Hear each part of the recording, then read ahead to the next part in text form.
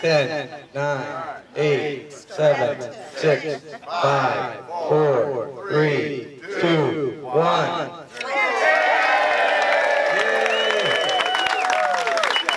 Thank you, thank you.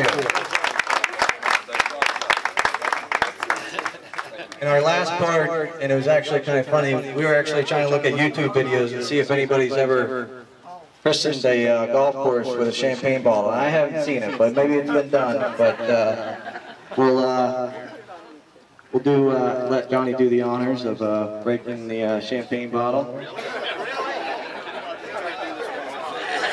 One time only. Johnny, you can do it. You want to count down or am I just going for it? You're, you're just going for it, Johnny.